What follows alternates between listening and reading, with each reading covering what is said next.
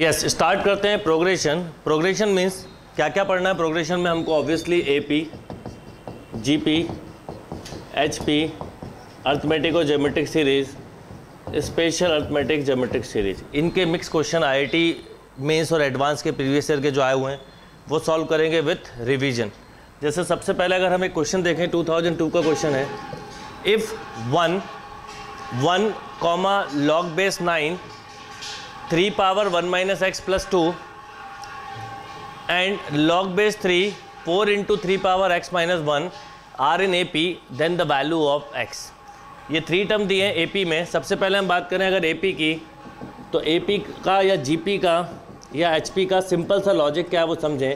If A one A two A three ऐसे term दिए A N suppose ये A P में है तो ये कब होगा? जब A two minus A one equal to A three minus A two differences of any two conjugative term are same then series is called AP if ratio of any two conjugative term are same then series is called GP if reciprocal are in AP then series is called HP means 1 by A2 minus 1 by A1 equal to 1 by A3 minus 1 by A2 like this ये basic फंडा है AP के अगर हम general term की बात करें तो general term is a plus n minus one into D is also denoted by last term sum of term की बात करें तो बेसिक बस रिवीजन करना है two A plus N minus one into D right अगर जीपी की बात करें एचपी के कभी भी कोई क्वेश्चन करना है तो उसको एपी में कन्वर्ट करके करेंगे।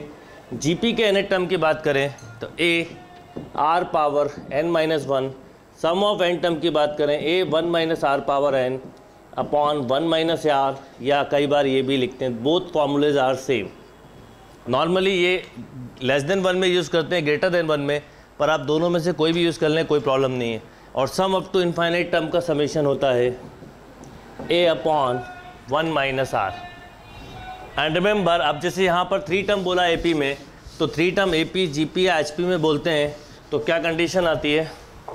If A B C are in suppose मैं बोलूँ ए पी तो आप बोलेंगे B equal to A plus C by two suppose मैं बोलूँ जी पी तो आप बोलेंगे B square equal to A C इसे जोमेट्रिक मीन इसे अर्थमेटिक मीन और सपोज़ एच पी बोलें तो इसे हारमोनिक मीन बोलते हैं.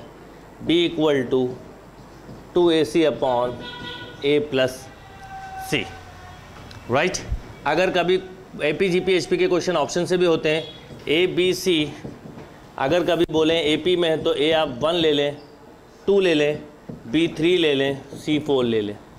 जी पी में बोलें तो ए ले लें वन बी ले लें टू सी ले लें फोर एच पी में बोलें तो ए ले लीजिए टू बी थ्री और सी सिक्स क्वेश्चन बहुत जल्दी सॉल्व हो सकता है। अब क्वेश्चन करते चलेंगे और A P G P H P के क्वेश्चंस में काफ़ी सारे कंसेप्शल लॉजिक्स भी लगते हैं। कंसेप्शल लॉजिक मतलब जैसे ये क्वेश्चन ए पी का है, पर टोटल लॉक के कंसेप्ट भी लगेंगे इसमें। तो वो किस तरह से लगाएँगे, वो भी देखते हुए चलेंगे। क्वेश्चन देखिए क्या है। क्वेश्चन ये है, one log base nine three power one minus x plus two and log base three four into three power x minus one are in A P अगर ये ए पी में है तो obviously two times of mid term nine log base nine को three का square लिख सकते हैं into three upon three power x plus two, इसको मैंने ब्रेक कर दिया स्टेप बचाने के लिए। One plus log base three four into three power x minus one right अब देखिए लॉग की एक प्रॉपर्टी होती है। लॉग एम पावर एन तो हमें पता है एन लॉग एम पर अगर बेस में भी कोई पावर है, जैसे suppose log base A P M power N तो जो बेस की पावर होगी वो अपॉन में आएगी। इसका मतलब यहाँ पर ये टू जो है वो अपॉन में आएगा तो कैंसिल तो आपको एक तरह से मिला log base three three upon three power x plus two equal to इस वन को मैं चाहूँ तो log base A A one होता है तो मैं यहाँ पर बेस क्योंकि थ्री है तो इसको ऐसा लिख सकता हूँ, समझाने के लिए स्टेप लिखिए, आप एक स्टेप को सेव कर सकते हैं। देन अब कौन सी प्रॉपर्टी लगेगी लॉग की? इसे कंसेप्शल प्रॉब्लम बोलते हैं। अगर आपको लॉग की प्रॉपर्टी नहीं पता तो आप एपी करते हुए भी या आते हुए भी क्वेश्चन नहीं कर पाएँगे। लॉग एम इंटू एन तो लॉग एम इंटू एन लगा तो दोनों लॉग कैंसिल तो three upon three power x plus two equal to three into four three power x minus one solve करने के लिए बोलूँगा आपको कि थ्री पावर एक्स को आप वाई मान लीजिए।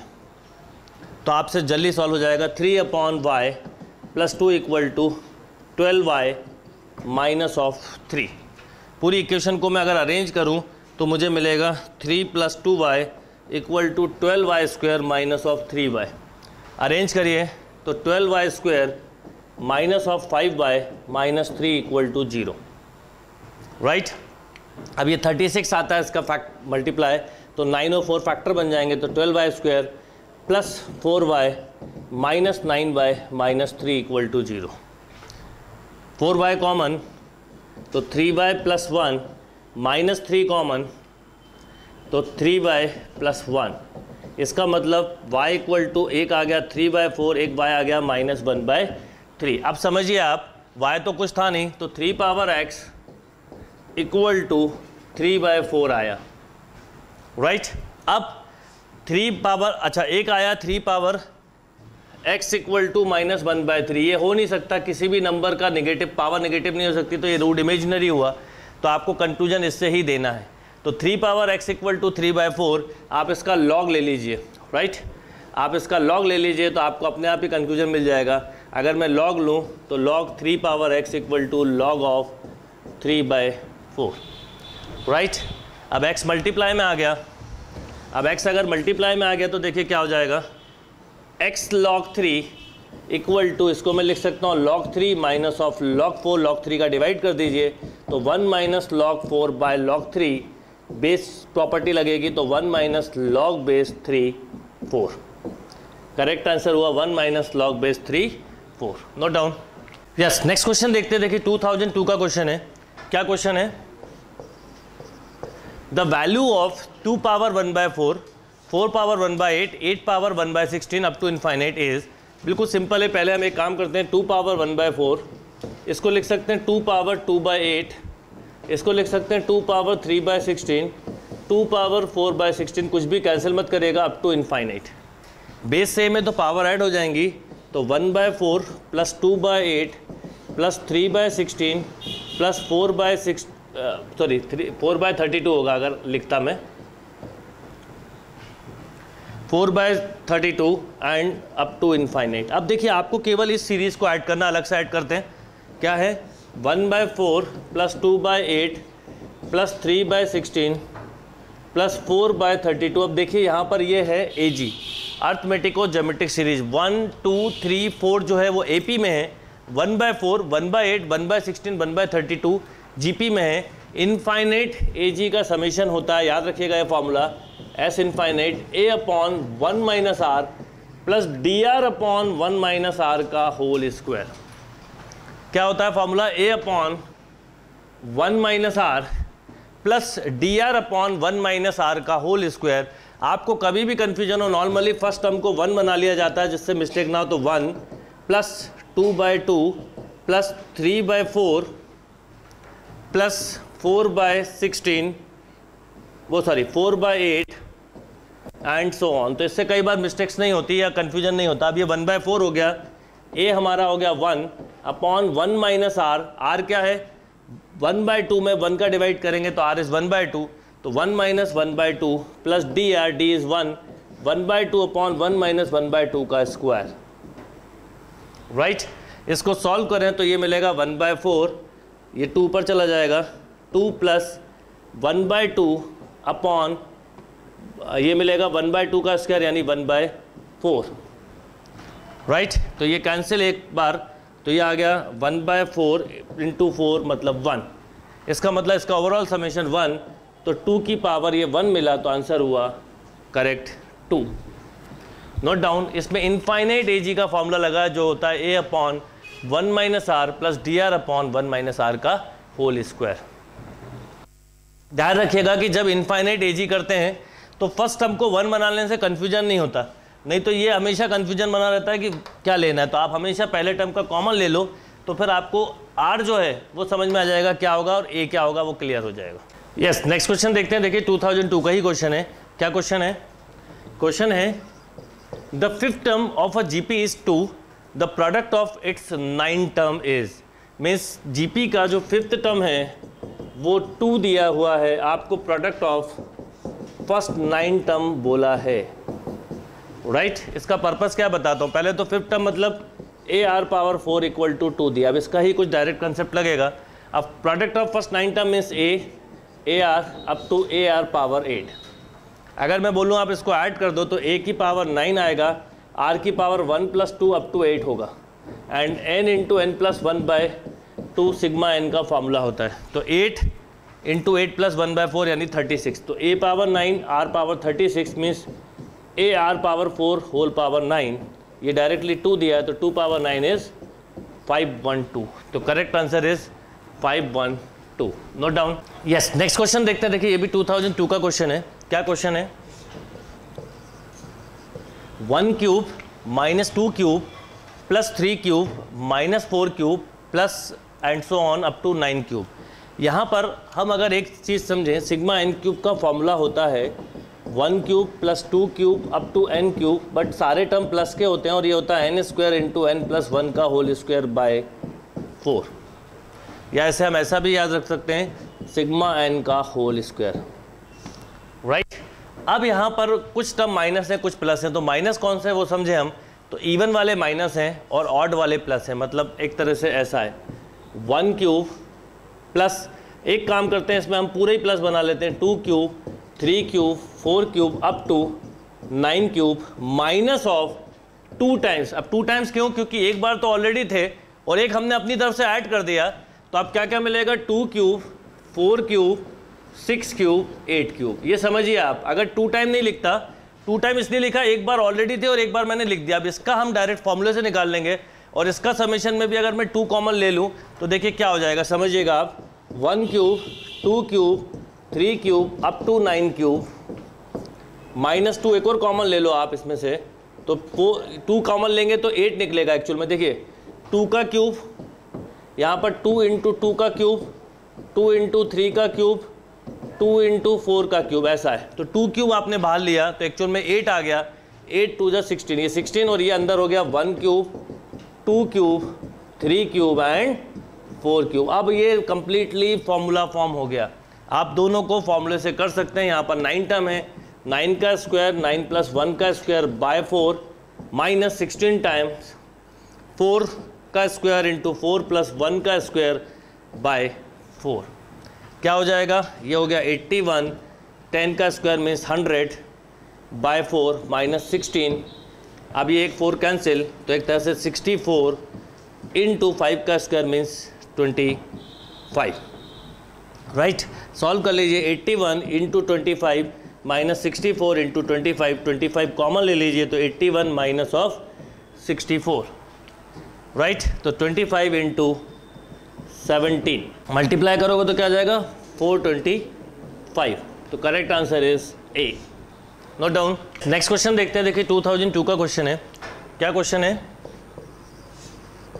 The sum of infinite number of term of GP is 20 and sum of their square is 100 the common ratio of the GP is मतलब एक सीरीज़ दी हुई है suppose A A R A R square up to infinite इसका जो सम है, वो आपको बोला है 20 और इन्हीं सीरीज़ के स्क्वायर का A square A square R square A square R four इसका समेशन दिया हुआ है 100 आपको आर फाइंड करना है। क्वेश्चन को एक बार अच्छे से समझिए तो अपने आप आ जाएगा। अब सम ऑफ़ इनफाइनाइट होता है पहले का twenty equal to A upon one minus R means अब आपसे आर पूछा है तो twenty minus twenty R equal to A A की वैल्यू आ गई ट्वेंटी माइनस ट्वेंटी आर अब इसका अगर समीशन बोले तो हंड्रेड बोला है, वो होगा A square upon one minus R square right short में करने का एक तरीका बताता हूँ hundred A upon one minus R into A upon one plus R लिख लीजिए। अब A upon one minus R की डायरेक्टली वैल्यू है ट्वेंटी ट्वेंटी रखी तो फाइव टाइम कैंसिल तो five equal to A upon one plus R अब ए की जो वैल्यू है वो रख दीजिए डायरेक्टली ए की वैल्यू क्या है? फाइव इक्वल टू ट्वेंटी बाहर ही रहने दो one minus R upon one plus R cross multiply करते हैं five plus five R equal to twenty minus twenty R मतलब ये हुआ कि twenty five R equal to fifteen then r equal to 3 by five बिल्कुल simple फॉर्मूले based question था। Yes next question देखते हैं। देखिए 2003 का क्वेश्चन है। क्या क्वेश्चन है? Let F X be a polynomial function of second degree F X एक पोलोनोमियल फ़ंक्शन है सेकेंड डिग्री का। If F one equal to F minus one and A B and C are in A P then F dash A F dash B F dash C are in पूछा है आपसे। Simple question है, समझिए। पहले तो F X second degree polynomial है। Means A X square plus B X plus C ले लीजिए। अब F one equal to F minus one तो वन रख दीजिए। तो A plus B plus C equal to one रखा यहाँ पर। यहाँ माइनस वन रखो। A minus B plus C तो इसका मतलब ए सी कैंसिल तो बी की वैल्यू ज़ीरो आ गई। मतलब लॉजिकली हम समझें तो फ़ंक्शन हमें ये दिया है A X square plus of C. अब इसका डिफ्रेंशिएशन करना है। तो अगर मैं बोलूँ आपसे इसका डिफ्रेंशिएशन करो तो F dash X equal to होगा टू ए एक्स राइट अच्छा ए बी सी हमें, अब इसमें अगर मैं ए रख दूँ तो एफ़ डैश ए क्या होगा? Two A into A F dash B क्या होगा? Two A into B F dash C क्या होगा? Two A into C right आपको पता है A B C are in A P अब ए पी की प्रॉपर्टी होती है कि एपी में हम किसी भी टर्म को ऐड कर सकते हैं सपरेट कर सकते हैं कॉमन और मल्टीप्लाई कर सकते हैं डिवाइड कर सकते हैं। जैसे यहाँ पर अगर मैं सभी में टू का मल्टीप्लाई कर दूँ तो two A into A two A into B two A into C are also in A P और आपको यही बोला गया है। इसका मतलब ये भी किसमें होंगे? ए पी में। तो correct answer is A P yes next question देखते हैं। देखिए 2004 का क्वेश्चन है। क्या क्वेश्चन है? Let two number have arithmetic mean nine geometric mean four then these number are the roots of the quadratic equation तो कौन सी क्वाड्रेटिक इक्वेशन होगी? सिंपल है नंबर्स हम ले लें अल्फ़ा बीटा मान लीजिए। तो alpha plus beta by two equal to nine दिया means alpha beta equal to eighteen बिल्कुल सिंपल क्वेश्चन है। और मीन होता है अल्फ़ा इंटू बीटा ये दिया हुआ है आपको। जोमेट्रिक मीन दिया हुआ है फोर राइट अब A into B equal to A into C equal to होता है बी स्क्वायर तो इसका मतलब यहाँ पर हमें alpha into beta geometric mean कितना दिया है? फोर